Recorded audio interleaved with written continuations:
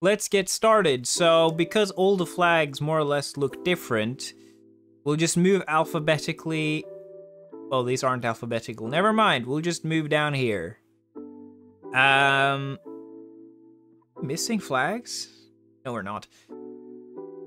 Starting with Angola. So I think Angola has a decent flag. It doesn't look very special, but, you know, it's nothing bad either.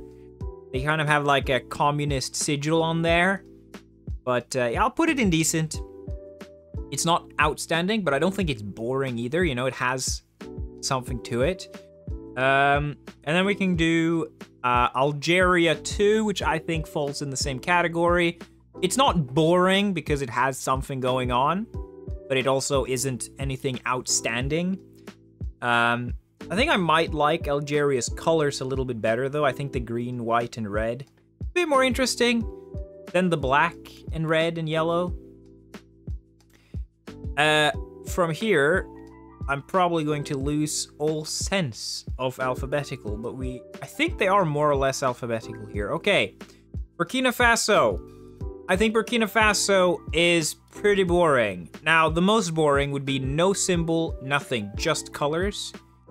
And it does have a star, so I think it would be ranking in lower C, because it, again, it has at least a star on it. Uh, Burundi, I think, is a pretty good flag. I would almost rank it excellent. I think Burundi looks great. I really like this flag. Um, I'm not quite sure if I like it enough to be S tier, but it sure is a high A tier. I really like the flag. It looks different. It looks unique, recognizable, all of that stuff. Pretty good. Benin. Benin is very boring. I'm sorry, but We've seen plenty of three-colored flags. At least it's not just a tricolor. You know, at least it has one of the, like, uh, fields or whatever. One of the colors is uh, horizontal. No, that vertical, sorry. One of them is vertical, the other two are horizontal. That's at least something, but it's still boring. I also, personal opinion, I don't think the Pan-African colors go that well together when red and green border each other. I don't think red and green bordering each other looks the best. So I think, for example, which we have here with, uh, what is this, the Congo? When the yellow is in between, it looks better, but when you have the red and the yellow, uh, the dark green and red, don't think that color matches that well. Maybe hypocritical that I put this flag above, but I don't know. I just think in the case of Benin, it doesn't look that good. Botswana. I think Botswana is a pretty decent flag. I know it doesn't have a symbol. I know that it has technically a basic color banded flag. However, I really love the colors. The light blue stands out really well. So I'm gonna put it in low B tier. I mean, personally, I probably maybe would have put it higher than these two. I think the colors on Botswana just work really well together, but I know people probably gonna say that's maybe not correct. I don't know. I'll put it in high B tier. And then we have Congo. Well, the DRC. Technically, that's a D country, not a C country, but we'll take the DRC. I think the DRC is a really good flag. I think it looks great.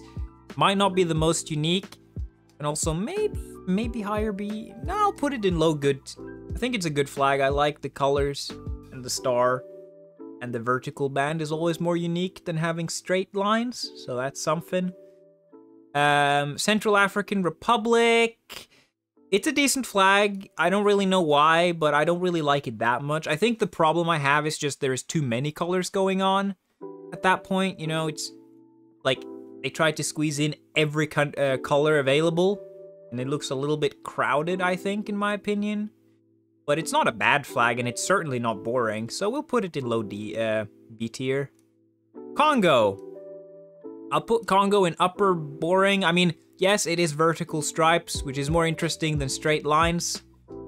But it has, other than that, no creativity. Unlike the Congo, which has the little gold line surrounding the red, here it's just very basic. Red, yellow, green, and that's it. Ivory Coast, um, I actually like the colors on the Ivory Coast a little better. Orange is not the most common color on flags, but it is a tricolor. It's literally Ireland, but flipped. There's nothing too exciting going on here. Uh, and then we have Cameroon. I'll put Cameroon in upper C tier. It is boring because it's the tricolor with a star on it. Um, a lot of African flags have stars on them. But it looks better, I think, than Burkina Faso. Um, I think it looks alright. I know I literally spent two minutes talking about how I don't like red and green together, but maybe I should retract that because I now see that this one has it and it kind of works. So forget what I just said. Cape Verde. I really like uh, Cape Verde. I think I'll put it up here. It kind of looks a bit European though, I must admit. It kind of always reminds me of the EU because it has similar colors. But the Cape Verde flag, I think it's good. I like the stars. I like the off symmetry, but but it looks good. A lot of colors that go well together. I think it's a good flag. Um, then we have this is Djibouti, I think Djibouti. So I'll put it in upper, maybe lower B tier, because it isn't boring per se. I think the colors are pretty good. I think white, light blue, light green, and red is not something you see too often. So I'll put it up here, but it's nothing like extraordinary, you know? Egypt. Ah, I'm tempted to put Egypt up here in B tier because it is a decent flag, but it's not like a very exciting flag. I don't think these flags are the most interesting, and also it doesn't help that Syria, Iraq, and Yemen have essentially all the same flag, just with either no symbol or a different symbol in the middle. But I do think Egypt with their eagle, kind of cool. We'll put it in low B tier, because otherwise it is a tricolor, but the colors work well, and it's also Egypt.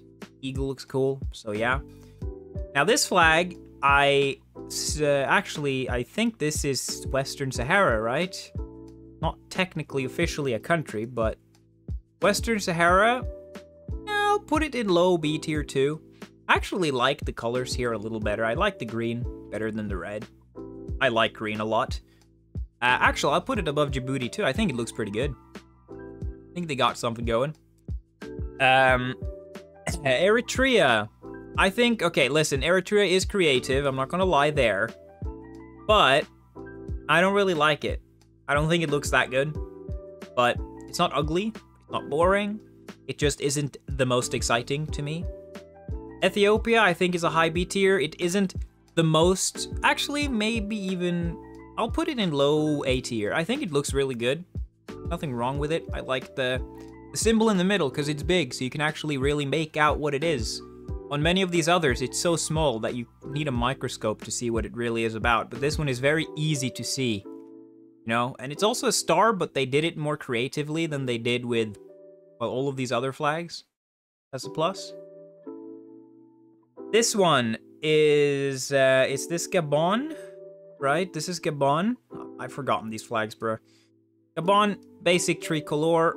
I do like the colors. It's a more unique uh, tricolor than we've seen elsewhere, but it's still boring. It's just three colors. Uh, what is this? I've forgotten. Is this Guinea-Bissau? Or is this Guinea? I should know this stuff. No, this is Ghana. Never mind.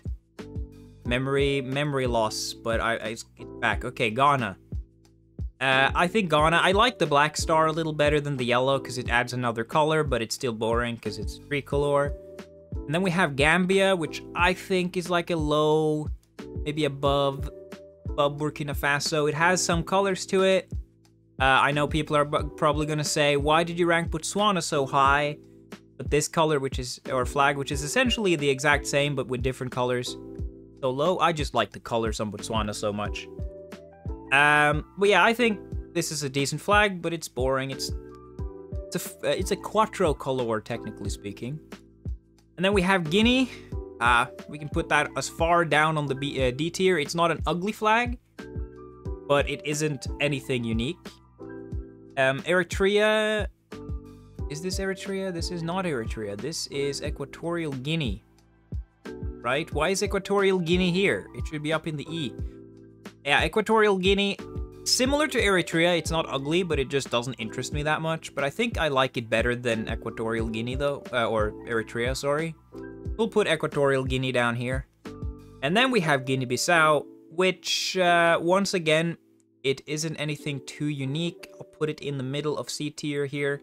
Kind of like it a little bit, but it's nothing too special. Kenya. Easy A tier. Almost S tier. The only thing I think about Kenya is that the colors are a bit dull. The shield is the same colors as the rest of the flag, so it doesn't stand out as much as its different flag, which we'll get to fairly soon. But it's definitely high A tier. I think I like Burundi a little better. I just something about that design. It's so sleek, but Kenya has a really good flag. Comoros also has a pretty good flag. I'm not quite sure if I would put it in upper B tier or lower A tier. I'll put it in upper B tier. It's it's kind of similar to a lot of other ones like Western Sahara and a lot of the Arab countries, but it's uh, it's kind of cool with the crescent. Liberia, um, I'll put it in B, low B tier, or kind of middle of B tier. I don't really know exactly where to put it. Maybe above, maybe somewhere around here. It's an American flag, but with one star. Not very creative, but it doesn't look bad. I think it looks pretty good. Lesotho, another one that goes in B tier. A lot of decent ones here. A lot of B tier. I'm sorry about that. Um, where do we put it? I don't know. I like it probably kind of up here. Kind of like it. Uh, I always thought that was an anchor, but I think it's a... What is that? Is that a hat? I've never been able to make out what that symbol is, but it looks cool. All right, Libya. Now, Libya has had a very good upgrade to their flag because it used to be all green, but it's like lower B. Like we've seen, there's so many crescent flags, and this one is a decent one, but it's nothing too extraordinary.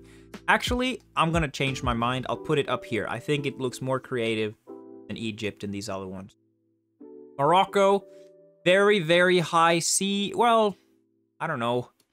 I don't feel, I feel like it's not really fair to put Morocco higher than these because these flags all have more creativity than Morocco. It's literally red with a star, but at least, is that really fair? I don't know if that's fair. I'll put it down here. It's literally red with just a tiny star. Madagascar, I'll put down here. Put it, like, maybe, maybe here. It's nothing special. And then we have uh, Mali, which I'll put... I like the brighter colors of Mali a bit more than Guinea, but they're essentially the exact same flag, so there's nothing really to say, uh, except kind of boring. Uh, this is Mauritania, but it seems to be missing some of the red on the edges. But it's like a high...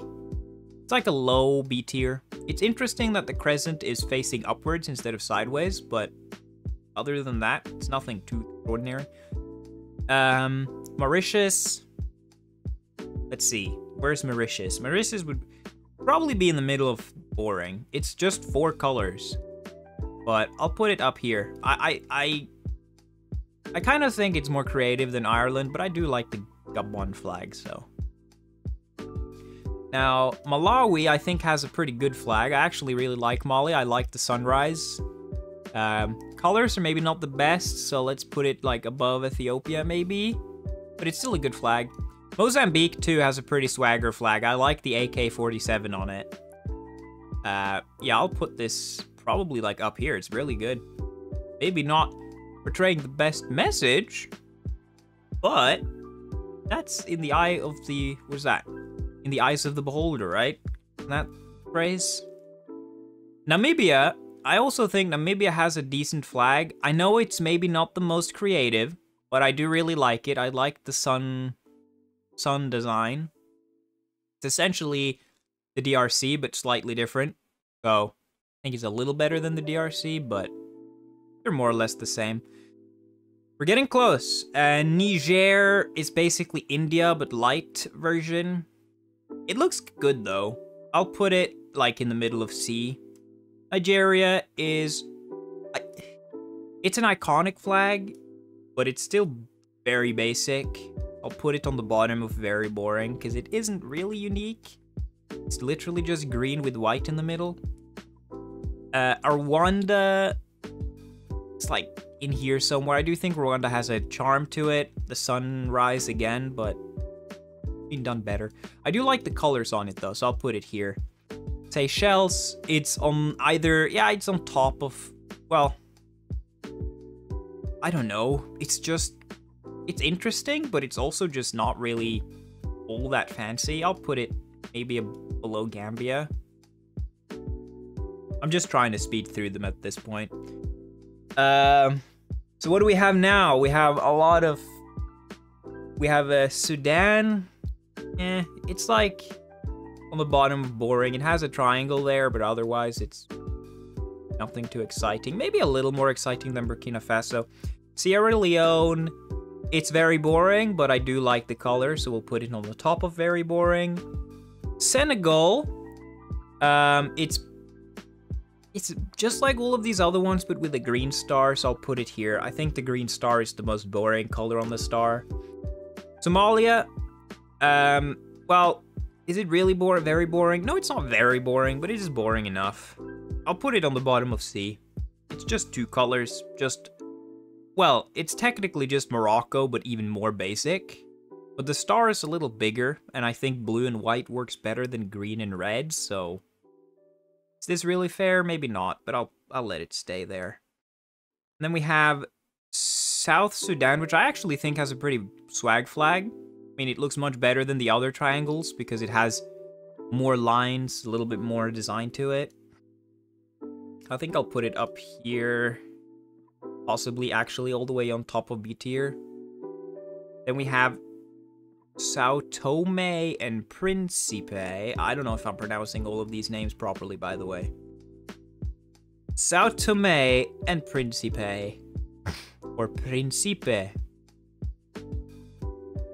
I mean, it is kind of cut a little bit, but it's not the most exciting thing. I might like it just a tad bit more than Eritrea, but I think I like Equatorial Guinea a little better.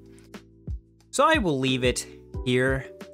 Now this is an S tier. I think Swaziland has a beautiful flag. This is what I meant with Kenya, by the way. Like, this one has more color, more design. It stands out far more, and I also really like the the rest, like the blue, gold slash yellow and red looks really cool. I think this is an S tier flag. And then we have Chad, which is honestly going to the straight bottom of D tier because they just copied Romania, made the, the blue just one shade darker, and that's it. Togo. Now you might notice that I'm not putting a lot of countries in F tier, and that's because I don't think there's a lot of flags that are very ugly. Because you gotta really be an ugly flag to end up here. Most of these are boring, but you could see D tier as the alternative F tier, because they're boring, you know? Togo, I think it looks sleek, but um, where do I put it? I'll put it above Egypt. Somewhere around there, I think is fair enough. Probably could have adjusted some of these, but I'm too lazy to do that. uh, okay, Tunisia. Tunisia is next. Uh, where do we put that one? Well, it's it's boring. It's kind of boring. I think it's it looks cool. It looks sleek. I'll give him that. I'll put it like here, maybe. Seems fair enough. Tanzania is I'll put it lower. I'll put it in decent. I think I like it just a little bit more than some of these other ones. I think the colors work well, but it's also not the most exciting thing, so putting it anything above here would maybe be a little unfair. Uganda, I think Uganda's flag looked pretty swagger. It it looks pretty swagger, but I don't think it looks. I'll put it in, in low A tier. I'll put South Africa in up in S tier. I just it's such an iconic flag, alright? Maybe that's the most boring way to do things, but it just looks fantastic. What can I say? They really nailed the flag. It looks good, it has a lot of colors on it, but they don't look too crowded, and it's very, very recognizable, which is something I think most of these fail to do because as you see down in the boring category, they all look pretty much the same. Maybe it's a little unfair. Actually, is it up A tier, or I'll leave it in S. But you can consider maybe these three on top of good tier as maybe S as well. Now, here comes the only F tier, okay? Zambia. Listen, I'm nothing against Zambia. I love Zambia. It's a beautiful country. At least that's what I've heard. I haven't been there, but I love Zambia. I want to go there one, uh, one uh, day at some point. However, their flag is just not it, okay? The proportions are really weird, how like 90% of the flag is green, but then they also squeezed in a weird tricolor sideways in the corner with an eagle.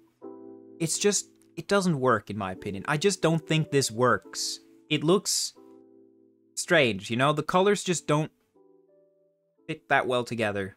My opinion, at least. I think it just doesn't look good.